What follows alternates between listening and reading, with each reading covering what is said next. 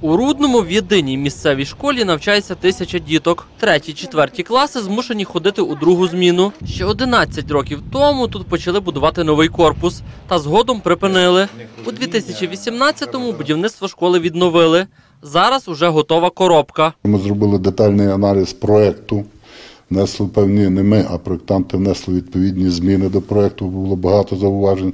Зробили певні підсилення конструкцій, вибудували, ну, добудували до кінця об'єкт, накрили дах, зробили зовнішнє оздоблення, зовнішню декоративну штукатурку. Вся внутрішня інженерія вже зроблена. Окрім самого корпусу, поблизу навчального закладу облаштують комфортний шкільний простір. Загальна вартість будівництва новенького крила понад 30 мільйонів гривень. Наразі освоїли половину. Все з бюджету Львова. Мені подобається динаміка порудно, тому що в цьому році школа. Минулого року ми відкрили ЦНАП. Перед тим ми відкрили фактично амбулаторію сімейної медицини. Дуже якісна, дуже красива.